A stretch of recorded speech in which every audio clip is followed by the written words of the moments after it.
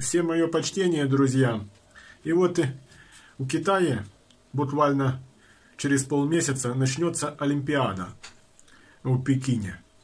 И вот украинская власть и Министерство спорта, молодежи установило такое правило для украинских олимпийцев, мол, не стоять рядом с российскими олимпийцами, не делать ни таких селфи, в обнимку и тому подобное. Стараться избегать российских олимпийцев. Фактически, украинская власть и Украина сделала из российских олимпийцев таких вот непритасаемых, таких вот изгоев.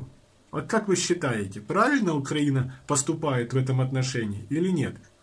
И можно ли такие делать тут правила, чтобы не фотографироваться, не делать селфи вместе с э, спортсменами вот России и Украины.